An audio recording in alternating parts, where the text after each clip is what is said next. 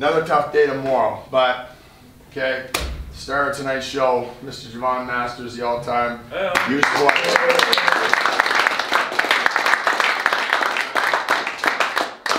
And as I always tell you, that consistency in sport is the hardest thing to achieve. It just is. It's, it's the hardest thing that, you know, you can do on a nightly basis. Um, and having been in certain situations where you are a leading scorer and people are gunning to stop you every night, um, it does present some challenges and it can weigh on you. I don't know that it ever weighs on him. But anyway, okay, because he's gonna, he's gonna get buckets. But that being said, it's now time for the best thing in sports. Go.